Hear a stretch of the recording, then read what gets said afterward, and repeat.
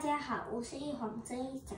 今天我要介绍的书是《写给孩子的世界历史故事》，全套一共有十二本，从人类文明的开始到现在科学的进步。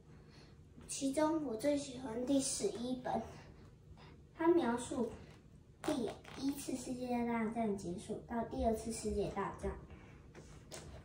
第一次世界大战结束后。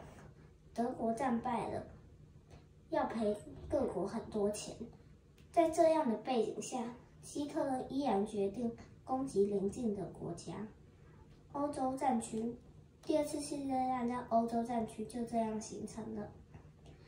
远在亚洲，另一个国家也野心勃勃的想要攻占邻近的国家，那个国家就是日本。他不仅攻击邻近的中国，还派飞机。攻击了远在美洲的珍珠港，这让美国总统很生气，决定参与这场战争。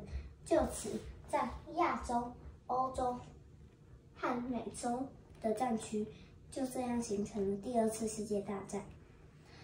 各国的首领都不想轻易结束这场战争，最后，美国总统以两颗原子弹结束了这场战争，第二次世界大战就此结束。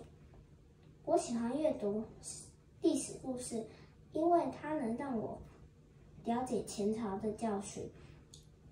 也建议大家阅读这套书，谢谢。